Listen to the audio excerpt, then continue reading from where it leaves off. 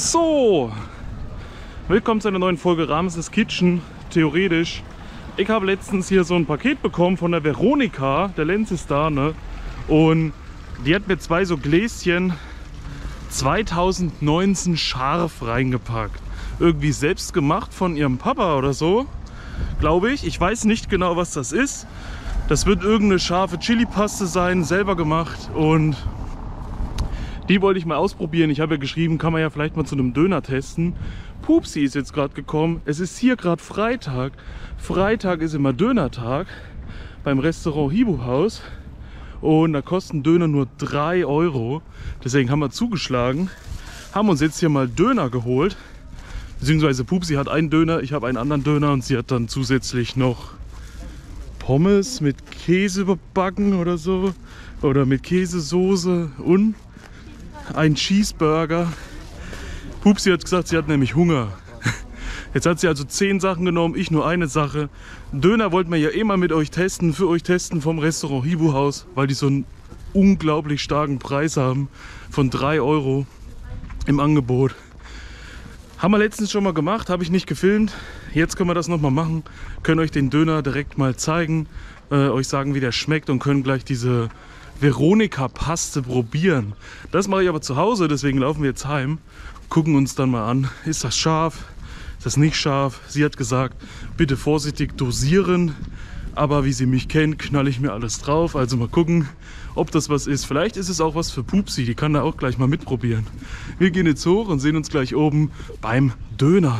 So, wir sind jetzt angekommen. Ich muss mir gerade noch bei Banner Battle die äh, Bewertungen ein Stück reinziehen. Ne? Pupsi hat schon gegessen. Natürlich hat sie wieder die Hälfte Pommes übrig gelassen, die Hälfte Döner, die Hälfte äh, Burger. Das muss der Ramses dann alles essen, damit er groß und stark wird.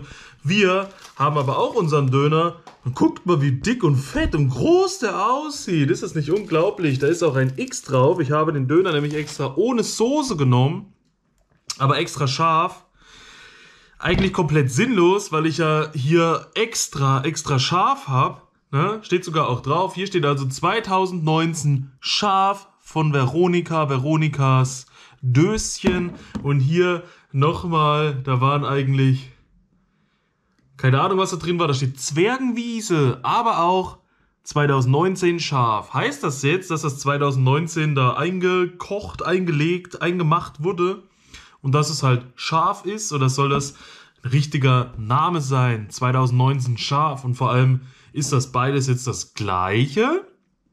Und das hier sieht nämlich irgendwie ein bisschen öliger aus und das irgendwie doch ein klein bisschen heller. Ich glaube, das ist beides dasselbe trotzdem. Einfach halt scharf.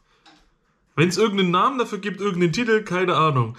Wir, das mal, lassen wir mal zu, den dicken Napf. Wir machen mal das hier auf, beziehungsweise Pupsi hat es aufgemacht, hat ganz kurz nur mit der Gabel eine Spitze probiert und gesagt, mm, bist du verrückt, das ist so scharf, da brauchst du nichts drauf machen, das kannst du dir nicht auf den Döner machen. Wir machen den Döner jetzt aber erstmal auf. Ich muss nur sagen, wie gesagt, bei uns normalerweise Döner 4,50. Wenn er im Angebot ist, bei Abo oder McDöner, dann vielleicht für 4 Euro. Oder 3,50? Ich glaube für 4. Ich glaube statt 4,50 dann für 4. Aber beim äh, Restaurant Hibu Haus im Angebot für 3 Euro. Und das finde ich sehr genial. Pupsi hat letztens einen probiert und hat gleich gesagt, der hat ihr richtig gut geschmeckt, vor allem weil der auch nicht so fettig war wie von McDöner und Abo. Also, gleich heute los, gleich wieder den nächsten gegönnt, ne? Gucken wir uns jetzt mal hier an, was er da so macht. Beziehungsweise ich nehme euch mal kurz. Das ist ein Döner. Ne? Man sieht jetzt aber kein Fleisch. Ich glaube, es ist ein vegetarischer. Das Fleisch hat sich ein bisschen versteckt, sagen wir es mal so. Den können wir mal hier aufmachen, können wir so zeigen. Jetzt habt ihr hier auf der Seite auch das Fleisch. Extra scharf sehe ich jetzt an sich eigentlich nichts. Aber wir haben ja unsere Paste. Und da bin ich jetzt gespannt, denn es kommt jetzt nicht auf den Döner an. Döner, muss ich sagen, hat mir beim letzten Mal richtig gut geschmeckt und eben auch nicht zu fettig. Und jetzt geht es ja in dieser Folge um die Paste in Zusammenarbeit mit Restaurant Hibu Haus und dem Döner. 2019 scharf. Ich glaube, ich werde mir erstmal auch hier so eine Spitze. Pupsi hat ja wirklich. Wir machen es mal wie Pupsi. Pupsi ist hier rein.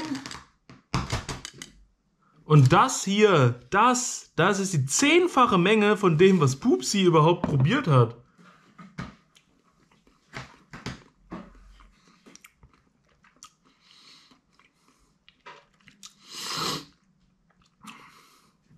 So, ihr habt irgendwie eine Essignote dabei, was ein bisschen wie Samba Oleg wirkt. Und dann macht es sich gleich auf dem Weg und zieht sich durch den ganzen Rachen, den ganzen Gaumen entlang, alles hoch. Ich merke jetzt schon, dass die Augen leicht anfangen zu drehen. Ihr glaubt das nicht. Also, ihr denkt, ich mache jetzt Scherze oder so. Das war doch so wenig, da merkst du doch eigentlich gar nichts. Aber doch, ich merke was.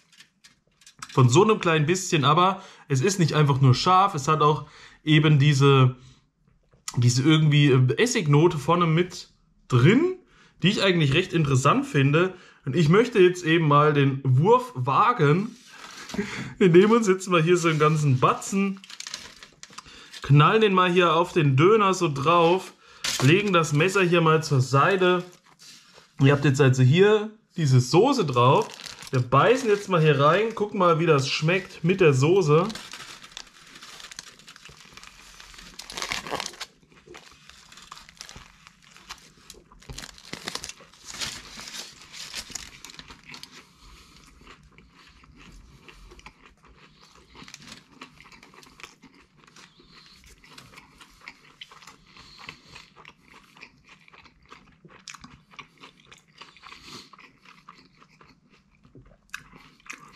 Irgendwie kommt da eine, eine richtig süßliche Note auch durch.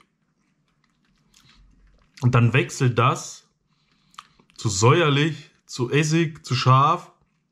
Das Auge fängt auch mal an zu drehen und zu brennen. Irgendwie schmeckt es jetzt aber auch extrem salzig auch gleichzeitig. Ich weiß nicht, was da alles drin ist, aus was das alles besteht. Aber irgendwie habe ich jetzt eine salzige Note auch noch dabei. Wir nehmen nochmal so eine ganze Messerspitze voll, obwohl wir jetzt schon äh, deutlich was merken, und packen das hier drauf, beißen hier mal ab.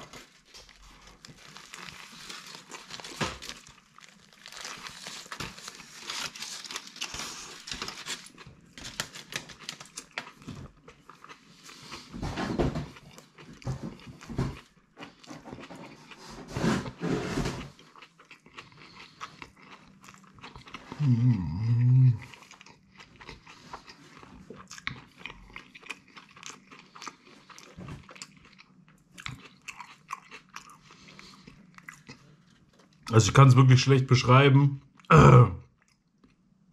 Es hat auf jeden Fall eine Schärfe, eine Schärfe, die man merkt. Aber ich finde, irgendwie ist das so ein richtig aufdringlicher, salziger Geschmack dabei. Sobald ich abbeiß, das ist so vordergrundig auf einmal, dass du wirklich denkst, du hast den Salzstreuer aufgemacht und hast dir den ganzen Bottich mit einmal reingeschoben. Muss das so salzig sein? Ist da Salz mit dran, jede Menge? Oder was ist das? Wie kommt das, dass das so schmeckt?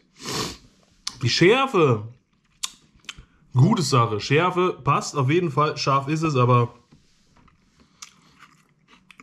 Und ich mir das jetzt wirklich in so Portionen da drauf knall, dieses Salzige da auf dieser Zunge, vielleicht ist es gar nicht salzig, vielleicht ist es auch scharf, aber das ist nicht scharf, das ist, das ist salzig einfach. Es wirkt irgendwie etwas aufdringlich und komisch. Also, weiß ich nicht. Beim ersten Probieren fand ich es richtig gut. Jetzt muss ich sagen, äh, ist mir das irgendwie trotzdem zu salzig. Wir essen das natürlich trotzdem, wir werfen das nicht weg. Mein Gott, das ist ein Geschenk, das wurde extra so gemacht. Packen uns also die nächste Gabel drauf und Adi, mach's bitte nicht. Leck da nicht dran rum.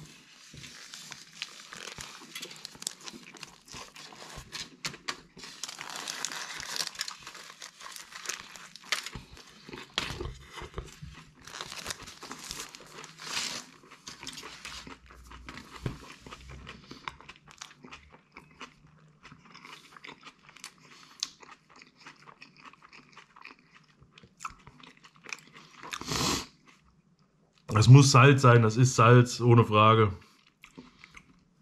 Salz, Salz, Salz. Ich fühle mich gerade wirklich, als würde ich so eine Dose extrem salziges Heringsfilet essen oder irgendwie auf den Jahrmärkten gibt es doch immer die Stände, wo die immer diese Fischbrötchen verkaufen und man denkt, oh, lecker, jetzt ein Fischbrötchen. Manchmal beißt du da rein und hast so einen extrem salzigen Geschmack drauf. Fisch und Salz? Passt das? Wie beim Seelachs. Was ist das denn? Oder schmeckt es nach Seelachs? Es hat irgendwie so einen richtig aufdringlichen Geschmack vordergründig. Was auf jeden Fall übelst Durst macht. Ein bisschen unangenehm ist. Aber dann kommt die Schärfe und die Schärfe ist wieder top. Also die Schärfe finde ich toll, die Schärfe mag ich, die Schärfe merkst du wenigstens richtig, aber ich komme auf diesen anderen Geschmack nicht klar. Keine Ahnung. Veronika, wenn du das siehst und wenn du schreiben kannst, schreib mal rein, was das ist oder schreib mir privat oder irgendwas. Ich habe keine Ahnung. Das wird auf jeden Fall schon sehr, noch sehr speziell. Vielleicht, wenn ich zum Hannes gehe, vielleicht nehme ich mal sowas mit. Lass den auch mal probieren, wie der das findet. Das war es jetzt eigentlich von meiner Seite aus. Hier ist noch alles grün. Hier ist auch jetzt überall Fleisch. Ne? Der arme Döner, komplett versalzen, komplett Seelachs-Döner, ganz neu. Schmeckt irgendwie ja, wie Seelachs. Und Seelachs ist halt. Ich habe keine Ahnung. Das war's von meiner Seite aus. Peace out, Vorhaut, euer Ramses.